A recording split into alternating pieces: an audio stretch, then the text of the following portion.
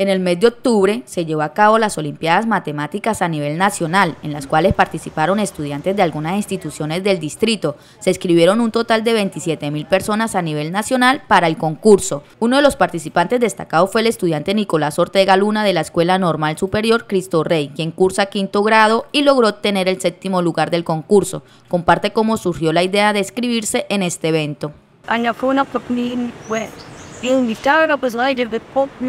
fue cuando este, puede comprender yo si vos entrar. Entonces, como me pedíamos, quería, entonces nos pasaban en vida prueba.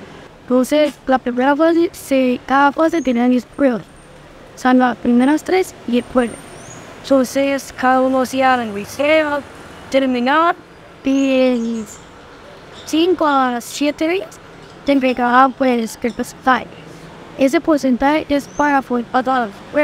Expresa que su preparación previa fue de tres horas diarias para cada examen en el que cada fase contaba con un total de 10 preguntas hasta llegar a la cuarta fase que era la que definía su lugar en la final. Sí, me sentía nerviosa como si, si yo quería ir o sí, porque su idea prueba primero all de.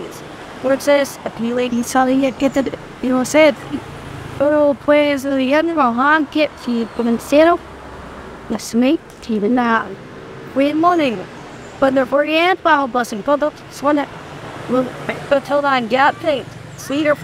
Antes de recibir la noticia, Nicolás sentía nervios por los resultados, ya que duró dos semanas en llegar. Finalmente llega la notificación que pasó a la última fase en Medellín. Sintió felicidad por el logro que estaba superando. Asimismo envía un mensaje de agradecimiento. Pues todo se logra con. Dios, coro viene back to the next week. Think of eso la que pagar las asambleas, entonces es la que va a ayudar y también como le digo, eh, todas las cosas te apoyan. Entonces, es and you have different other all de, de lograr de esta manera espera que todos los que quieran participar lo hagan, ya que son retos de aprendizajes y conocimiento.